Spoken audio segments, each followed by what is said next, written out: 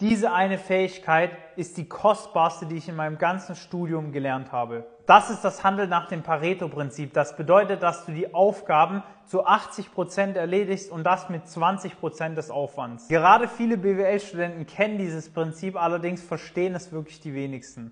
Hier mal ein kleines praktisches Beispiel. Wenn du an einer guten Uni bist und ein System gefunden hast, mit dem du gute Noten, sagen wir im 1-Bereich schreiben kannst, ist es irrelevant, ob du 1,8 oder 1,5 schreibst. Am Ende des Tages schauen die Firmen nicht drauf, dass du einen soliden Schnitt hast, aber was noch viel wichtiger ist, sie schauen sich an, welche Praxiserfahrungen du gesammelt hast. Das heißt, wenn du jetzt versuchst, deinen Schnitt zu optimieren, ist das erstens mal viel, viel aufwendiger und zweitens mal hat es überhaupt keinen Effekt mehr, weil du dich um wichtigere Dinge kümmern musst. Wenn du dir das Pareto-Prinzip also immer wieder bewusst machst, dann kommst du viel, viel schneller voran.